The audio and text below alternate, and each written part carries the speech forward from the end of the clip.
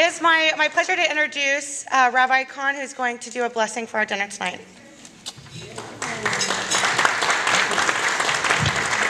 Thank you, Steph. And, and it's my pleasure to welcome all of you tonight to Washington, D.C.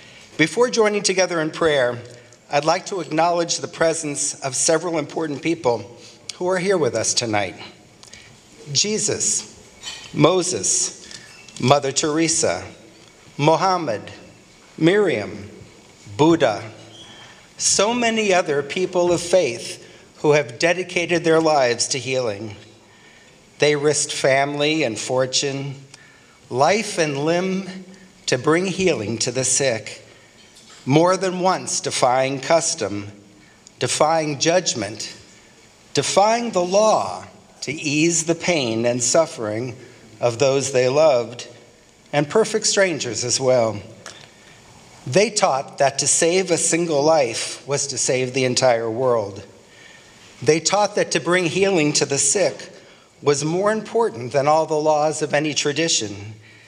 They taught that standing shoulder to shoulder with those in search of healing, we find that we too are healed. So we gather this evening people from many faith traditions and no faith tradition, uniquely engaged in a sacred duty. We too have dedicated our lives to healing.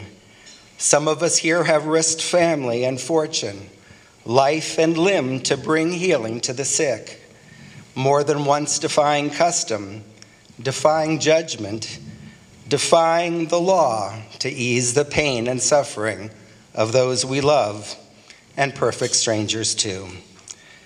May we continue to draw strength, inspiration, and courage, and a large measure of audacity from those people of faith, past, present, and future, who defy the odds to bring healing to the sick.